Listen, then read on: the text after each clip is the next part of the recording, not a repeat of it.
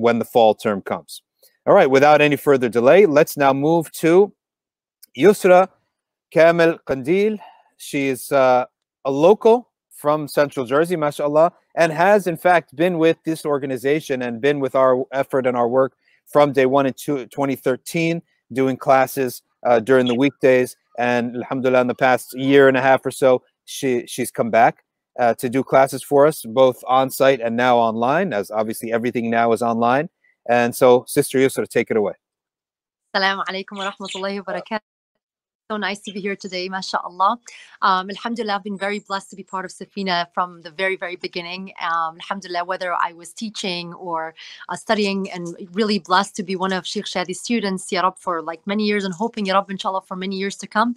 May Allah subhanahu wa ta'ala, Ya Rab, bless him and bless his efforts and, um, you know, all the knowledge that we've gained from him. Um, and so I think in return, as I've always learned, that when you learn something, you have to pass the knowledge on, um, even if it's just something small. And inshallah, bismillah, I'm going to be teaching teaching the tweens, which is an age I really enjoy teaching. Um, they're not very little yet, uh, you know, or, and they're not in those teenage years either, where it's kind of like you have to figure out what you're going to say and how you're going to say it and you know how to kind of really get them engaged um, it's a very different age subhanallah. Um, but inshallah i'm going to be teaching the tweens and um, we were t- um, in the past during the full session we kind of covered a little bit we started with the maliki fiqh for them and then after that we did a bit of sira and i realized that they really really enjoy storytelling um, which is something i think we can all agree upon that you know listening to stories always kind of like um, sticks with us. We learn something from it it's something we can relate to as human beings because it has stories of other people, other human interactions, and what happened and whatnot. So inshallah, bismillah, in this course, I'm going to be doing stories of the prophets. Um, I'm hoping, inshallah, again, as I said, um, or as uh, Brother Ali was saying, their attention span really after 30 minutes is like kind of like, okay, I know they're looking at me, but they're, they're kind of like zoned off. They're somewhere else.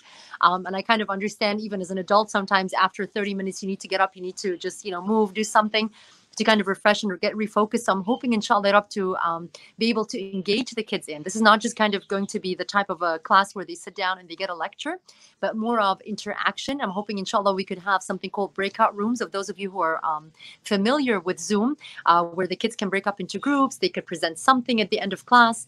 Um, one of the main things that I really want to focus on on the stories of the prophets is something I realized a lot of the kids. Um, that I've taught in the past, even my own children, they always kind of get confused on how each prophet was actually sent to complete the one before. They all came with the same message, but it was kind of like, you know, um, different, like not different. It's the same idea, believing in one God, but then certain rules applied each time. And I feel like, you know, they'd always ask me, like, so wait a minute, so how were the people that were living at the time of Sayyidina Isa um, still considered Muslims? I was like, well, if you lived at the time of Sayyidina Isa, right, and it was Sayyidina Isa at that time, you would have to follow Sayyidina Isa and you'd be considered, you know, a Hanafi or a, Muslim or believing in one Allah or, you know, one God.